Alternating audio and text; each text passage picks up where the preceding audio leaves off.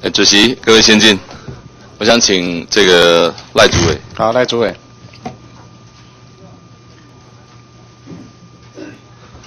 姚委员好。这赖赖主委辛苦了啊，叫爸呗。有，刚刚有吃了便当，谢谢。辛苦了啊。那么，这今天是六月四号啊。刚刚我们招委其实也也针对这个六四相关相关的，不管是过去的历史的演变，或者是真相哈，或者马英九的态度，我想有都有所讨论哦。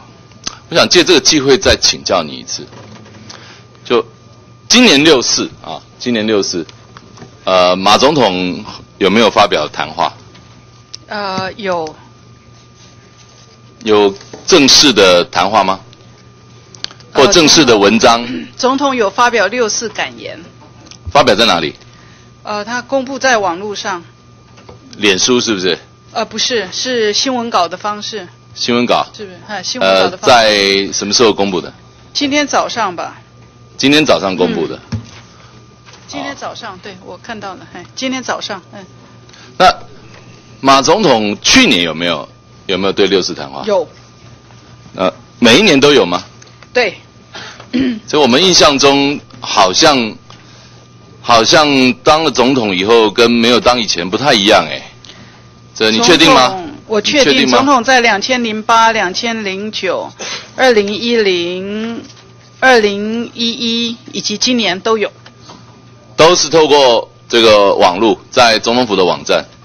诶，他也是透过新闻稿的方式，哎。好，他今天晚上可以去参加呃学生所举办的纪念六四的活动吗？总统啊？对。我我不清楚总统的行程呢。这样的，嗯，那你会不会建议他参加？如果他对六四长期呃真的这个一以贯之都那么关切的话，这二十三年的这个呃周年哦，我我想以总统的高度哦，他也发表了他的对对六四的感言，他其实是蛮关切的啊。那这个应该是就已经非常能够呃表达他对这个事件的看法跟。所以你会不会建议他去？你不会建议他去？你认为够了？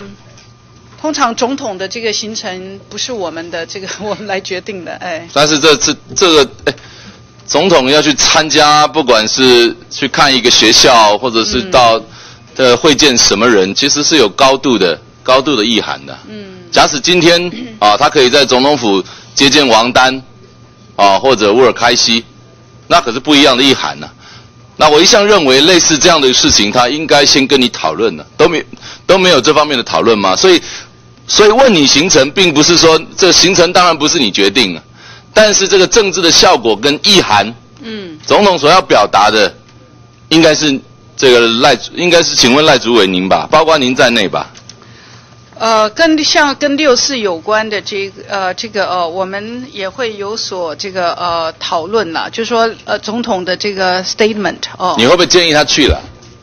今天呢？就是说，刚刚陈委员也提的，也也建议过，提到说，是不是他要去接见谁谁谁哦？民运海外民运人士，这个我们可以转达了，哎，可以转达，嗯。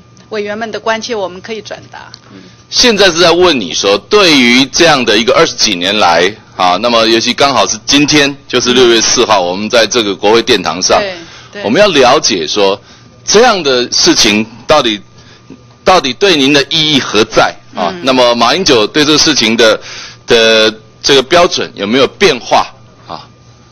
那所以才要问你说要不要建议，所以不要不要推给行程哈，也不要也不要说转达。我想问你，你会不会建议马英九去出席晚上的这个六四的纪念活动？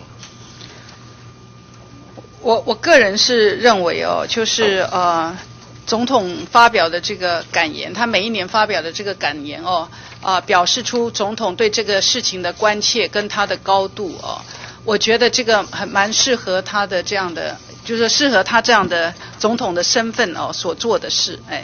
所以马英九会不会是因为你这样的建议，所以不去？是会不会是你阻止他去的？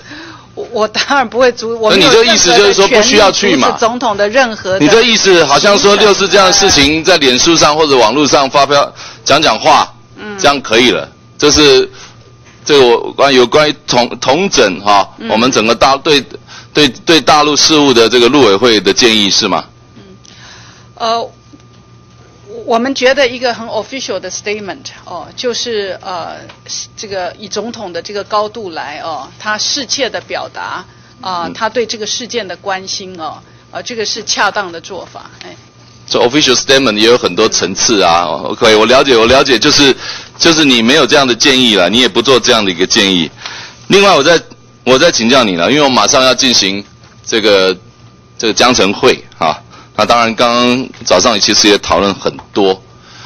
那我一向觉得啊，为什么有几次啊？其实我们在讲到说自入性行销，或者是中国来台湾的访问团啊，那么有没有做招商的事宜？有没有违反两岸关系条例？其实我一向认为啦啊，假使我们的这个法律有定，那么我们应该啊，我们这个政府相关的单位，尤其是执法主政的机关。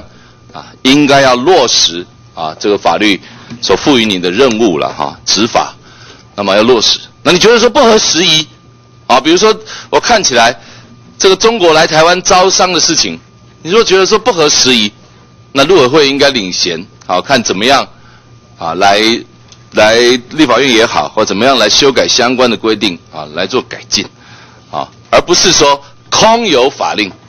那么空有法令在那里，然后呢？这个这个上下交相贼啊，上下这个置若罔闻，上下都不执行啊。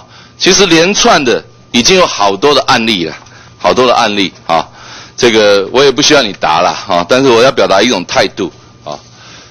这个有关于两岸招商也好，经贸往来也好啊，那么只要坦白讲，只要符合这个相关的规定，这规定我们讨论。那么如果不符合，我希望陆委会啊。能够作为一个主管机关，能够落实来执行啊，包括我们几次讨论的啊，在呃湖北省省长来，江苏省这个副书记啊来几次，其实我这里都有。坦白讲，我都我都不太想再占用时间来讨论了。回去以后，在苏州的官方官方的网站哈，在他们的文件那么都是说来这里，哈来这里招商，来这里招商啊，那跟他们。那么来台湾的活动都不相符啊，不相符。我希望啊，我再次提醒啊，那么要么你就修改啊，要么你就修改这个相关的条例啊。如果是这方面是可以允许的，啊，这方面其实挡都挡不住。那么明白讲，明白讲哈。